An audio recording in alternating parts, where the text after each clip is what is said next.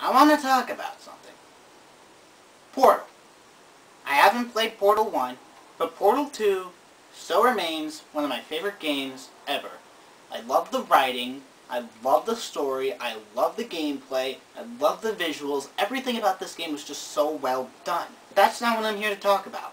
What I'm here to talk about is a Portal fan film. No, not that Portal fan film, though that one is pretty good.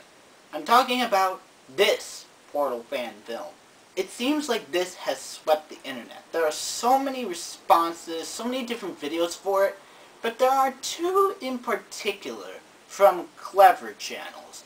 Here's the one from Clevver Games. There have been a lot of homages to Valve's famous Portal series, from Portal Cakes, real companion cubes, and even a Wheatley puppet. I am not a moron! I'm sorry, I couldn't resist that one. But nothing quite so highbrow as the new fan film Portal No Escape. The film was directed by Dan Trachtenberg from Revision 3's Totally Rad show.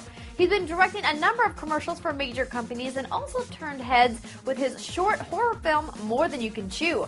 The short stars Danielle Rayne, who is a working TV actress, and I'm guessing she's portraying Chell, but that isn't exactly stated. But regardless, she looks badass.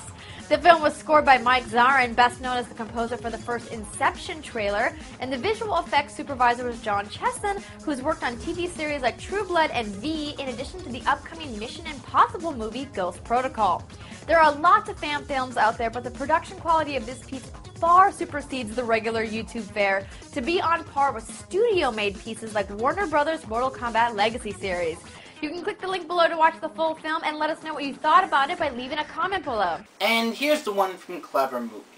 What's up guys, I'm Tatiana Carrier and I've got the details on a Portal short that we think may have some big budget potential. A fan made a short based on the highly successful Portal video game franchise recently debuted on YouTube entitled Portal No Escape. The short was directed by Dan Trachtenberg, who recently took to Twitter about the release, saying, 1.5 years in the making and it's finally out. Looking forward to hearing what you think. And we're thinking maybe, just maybe, if this YouTube release short gets enough views, it may just make it to the big screen. A fun fact about this short the score you hear in it is by Mike Zarin, best known as the composer of the music in the first Inception trailer, which is kind of a big deal. Portal No Escape stars Danielle Rayne and can be found on YouTube. You can click the link in our description to watch it for yourself and tell us what you think. Also, let us know if you think this short is good enough to be in a major motion picture. Now, both videos bring up that the composer for the music in this short is the same composer for the first Inception trailer music. And yes, that does sound like a big deal, but given how big the movie Inception actually is. Especially how someone was actually able to get that kind of person to help them. Now, there are some hardcore fan complaints. Notably, that the main character, whom has not had a name confirmed, though some would believe it's Chell, I like to believe it's a different character altogether. But anyways, the main character looks into the operational end of the portal device, as you see here.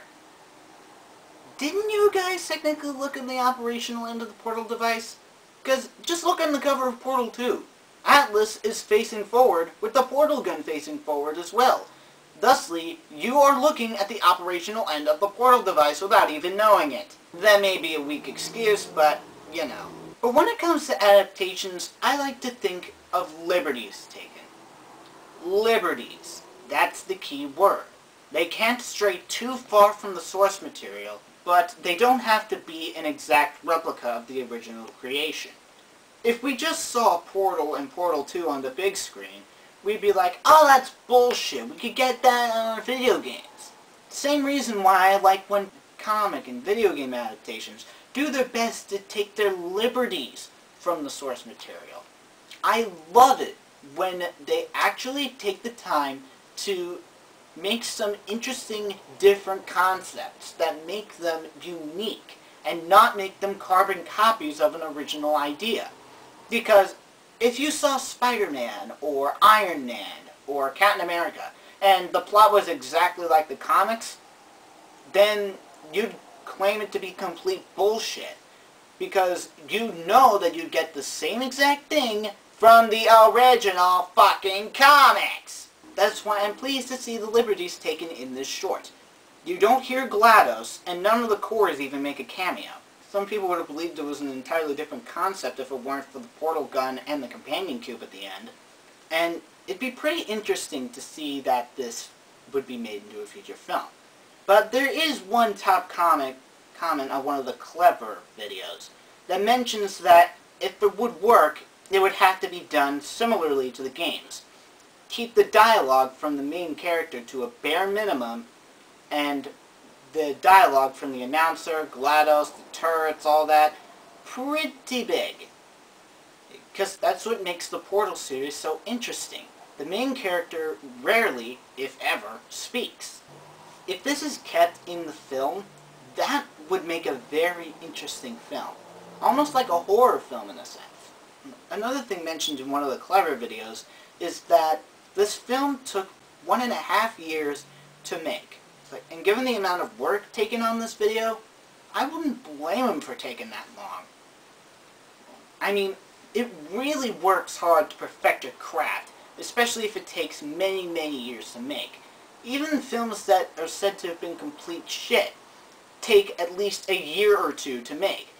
Each of the Transformers films have been released at least two years apart. It was actually rumored that we wouldn't see a Transformers 3 until next year, but we ended up getting a Transformers 3 this year, because they actually got to work on it. And it took at least two years in order to work on all three films. Even your favorite films like Inception or The Dark Knight or Scott Pilgrim, whatever film you want to talk about, those take a lot of time to make. This really makes me curious as to what's in store for the future of not only the creator of this video, but for the Portal series in general. Because that's what I'm very interested in. Not just in the future of the Sly Cooper games or the Transformers franchise or whatever. I'm interested in what will happen in the remainder of the Portal series.